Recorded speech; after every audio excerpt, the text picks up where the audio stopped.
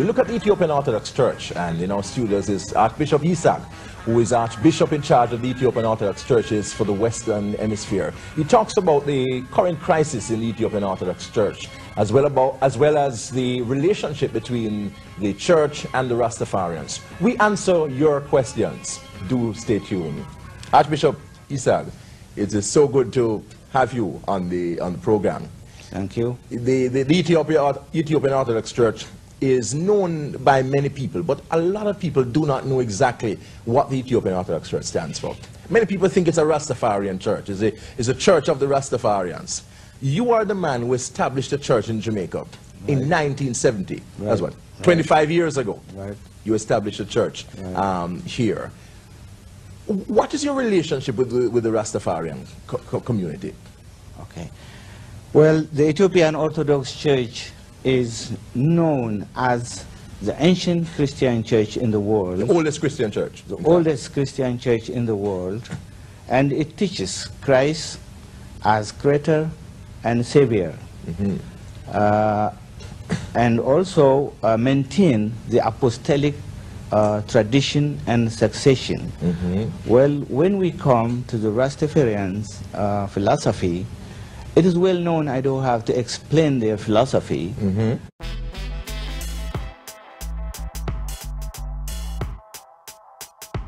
Meet the Rastafarians of Ethiopia, a band of believers who have made their way home to the promised land. I was born in the Caribbean island of Jamaica of African parentage in 1981. I decided to take up the challenge and with my life's earning, I made the trip to Ethiopia. Rastafari concept is one, His Majesty, Haile Selassie I, is the returned Messiah, Jesus Christus in his kingly character. Two, we believe in a United States of Africa. And three, repatriation and reparation, Amos, will be in our time. Greeting, my lord. Former Ethiopian Emperor Haile Selassie, or Rastafari, granted them a plot of 200 acres in the land of their ancestors. Today it is governed by this Council of Elders. We as human believe in, in, in, in uh, repeating the Lord's Prayer, Thy kingdom come on earth as it is in heaven. So we see it is justified to see Ethiopia as the promised land, the New Jerusalem. We see this is the seat of knowledge, the place where the original birthplace of mankind. So we see the whole nation of Ethiopia as a place where kings and queens have helped shape the history of the world. Rasta. Tell us what a Rasta is. See, Christ promised that he will return within 2,000 years, you know, mm. and him say when him come, he will be the King of Kings, the Lord of Lords, the conquering Lion of Judah, through the lineage of King Solomon and King David. Now, my life have great meaning to me. So I really search to find out if God is here. When I search, I look, I look in Ethiopia. I look all about, looking at Germany, you know, because I'm not prejudice. Me look for God. Me looking at Ethiopia, I say, one man stand up with these names.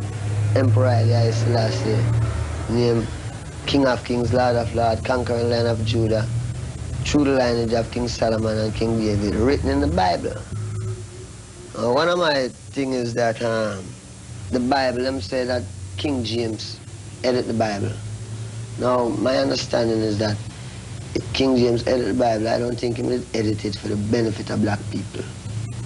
So when the revelation turned out that Haile Selassie is the King of Kings and the Lord of Lords, coming straight through the lineage of King Solomon and King David, then, you know, we really know that this is a Christ return because we know in this world, yeah, when the white man, when the white man edit it, he wouldn't edit it in our behalf. You know, he would have more edit it to make it look like England going to be the, the big, big thing. But in the last days, they had proved that is, the, is Ethiopia, Haile Selassie, you know, and Haile Selassie's name is Rasta. So we are called Rastas, you know, called by his name. Uh-huh. And then it's a lot of things. We go as far as saying, him say when him return and you call upon him, now this is God. Him say when him return and you call upon him, your mother and your father will forsake you.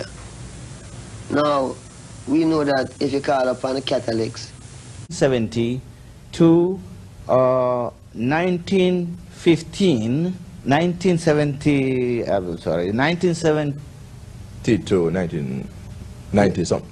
yes, 1978, Mhm. about 20,000 people had been baptized. 20,000.